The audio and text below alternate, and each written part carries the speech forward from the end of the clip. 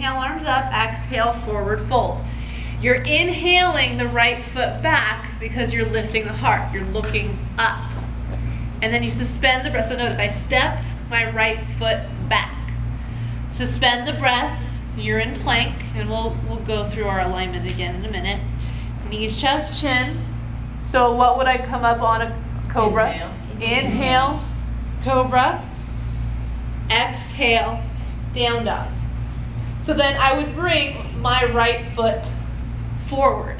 Whatever foot you step back, that's the same foot you're gonna step forward. That makes sense? Because when I step my right foot back, I'm stretching my right hip or my left hip. When I'm stretching my right foot forward, stretching my right. Okay? And then forward fold. Okay, so let's all do this together.